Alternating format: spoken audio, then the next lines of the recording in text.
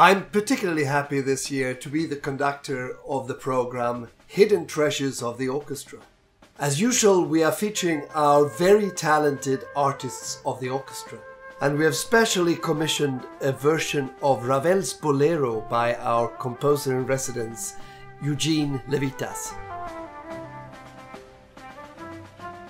The composer Johann Baptist Vanhal, also referred to as the Mozart of the Czech Republic, wrote a wonderful concerto for two bassoons, a concerto that Ella Nadav and Elad Avakrat will perform for you.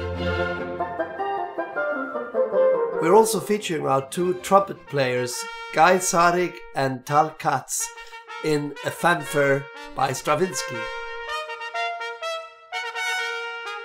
As well as our new solo flute player, Michal Tikotsky, in one of the most loved movements of Mozart Flute Quartet in D major.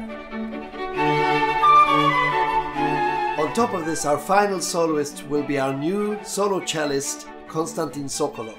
He will perform the wonderful Schubert Arpeggione Sonata.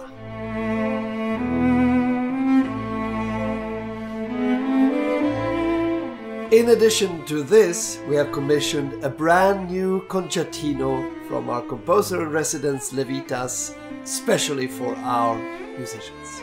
As you understand, this will be an event beyond the ordinary, so make sure to get your ticket before all gets sold out. Be there.